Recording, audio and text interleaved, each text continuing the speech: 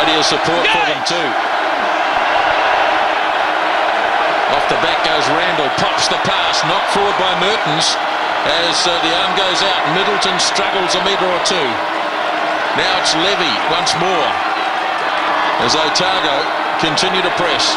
Lee. Oh, big gap. Mapusua. There's the first try. Seilala Mapusua and Otago have hit the front. Well, it was well worked and well deserved. Intense period of attack, Otago, throwing everything at them. The defence was strong, resilient, as it normal as we expect of Canterbury at this stage.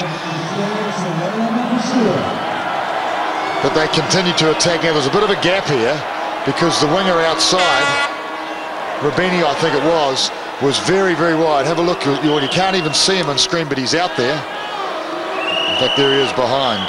Two props here defending the second 5-8. Dave Hewett and Greg Somerville. They couldn't get it done.